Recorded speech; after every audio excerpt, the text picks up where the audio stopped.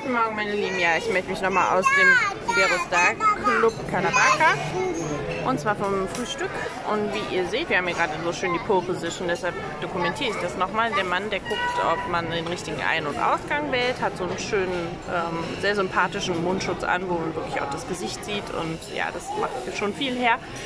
Sehr nett, sehr freundlich. Erinnert einen, dass man bitte seine Hände desinfiziert, wie der Mann das jetzt vorbildlich gerade gemacht hat. Mit Mundschutz soll man reingehen und oben drüber zählt halt, wie viel ähm, Gäste dort rein dürfen. Es sind 25, die auf die eine Seite dürfen, 25 auf der anderen Seite.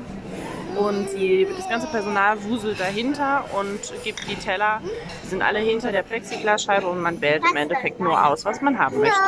Und die reichen es einem an. Man muss sich halt verständigen auf Englisch, Deutsch, Spanisch, Mix. Ja, das ist ein bisschen schwierig, muss ich sagen, aber na gut, das funktioniert halt auch irgendwie. Man kann sich im Endeffekt so viel nehmen, wie man mag.